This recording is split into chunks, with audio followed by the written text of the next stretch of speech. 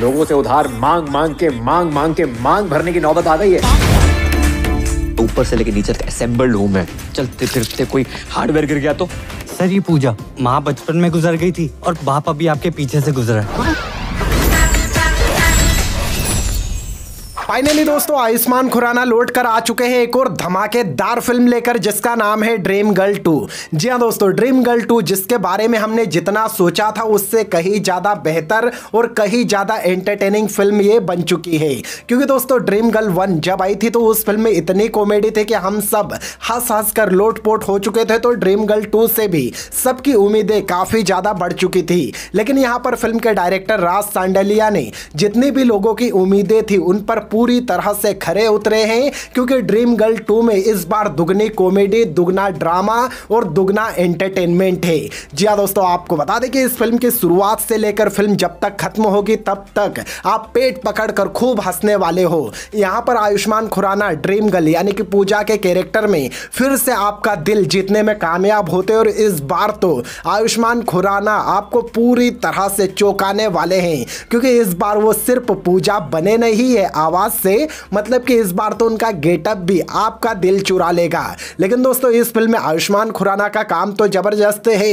इसके अलावा फ़िल्म की जान है इसकी सपोर्टिंग कास्ट जी हाँ दोस्तों, आपको बता दें कि इस फ़िल्म की सपोर्टिंग कास्ट में हमें सभी लेजेंडरी कॉमेडियंस देखने को मिल रहे हैं। जैसे कि विजय राज अनु कपूर, सीमा पावा, राजपाल यादव, साथ ही साथ परेश रावल। और यकीन मानिए दोस्तों, ये सभी कैरेक्टर इतने ज़्यादा एपिक और इतने ज़्यादा एंटरटेनिंग है कि इनको स्क्रीन पर देखकर आप पेट पकड़ पकड़ कर खूब हंसने वाले हो। यहाँ पर दोस्तों, फ़िल्म की स्टोरी पहले पार्ट से भी बेहतर है। लेकिन दोस्तों, उससे भी अच्छी बात क्या है कि ड्रीम गर्ल टू में जितने भी कॉमेडी सीन्स है, वो अपने आप कॉमेडी निकालते हैं। मतलब कि यहाँ पर किसी तरह की फोर्स कॉमेडी देखने को नहीं मिलती। जितने भी कॉमेडी सीन्स बनते हो, सिचुएशन के हिसाब से काफ़ी बढ़िया तरीके से क्रिएट किए गए और ये कॉमेडी सीन देखकर आप जब पूरे सिनेमा घर में इस फ़िल्म को देखते हो तो आप खूब हंसने वाले हो। यहाँ पर दोस्तों, फ़िल्म के जो डायलॉग से वो काफ़ी बढ़िया और जो वन लाइन पंचेस है, वो तो इतने हिलेरियस है कि हर एक पंच पर आप सीटियाँ और तालियाँ बजाने वाले हो।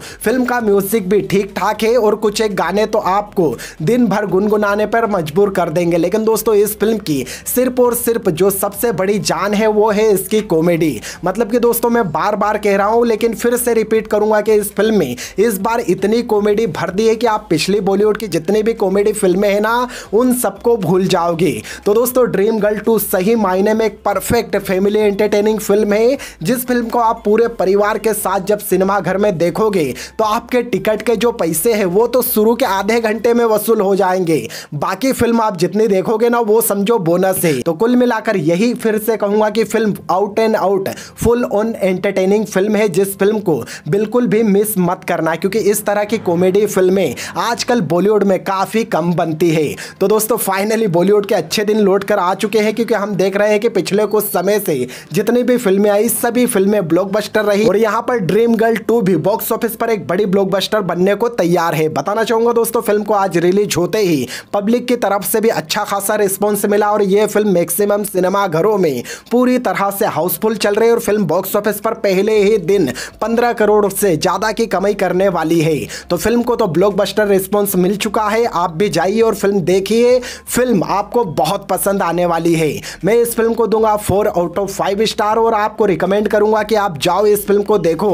अपने दोस्तों के साथ देखो, अपनी गर्लफ्रेंड के साथ देखो, अपने परिवार के साथ देखो। लेकिन इस फ़िल्म को सिर्फ़ और सिर्फ़ बड़े पर्दे पर देखना फ़िल्म में बहुत मज़ा आएगा।